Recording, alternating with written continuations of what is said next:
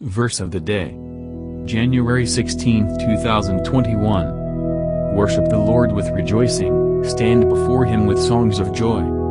Psalm 102. Thoughts on today's verse. Let's not limit ourselves to spiritual songs or sanctuary joys. Let's make today a day in which we listen to Christian music while we thank God with songs and praise.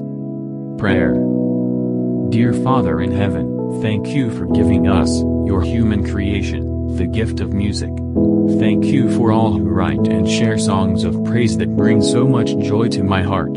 I thank you with my praise, as I listen and sing to show my love for you and my deep gratitude for all the blessings you have brought down on me. In the name of Jesus, Amen.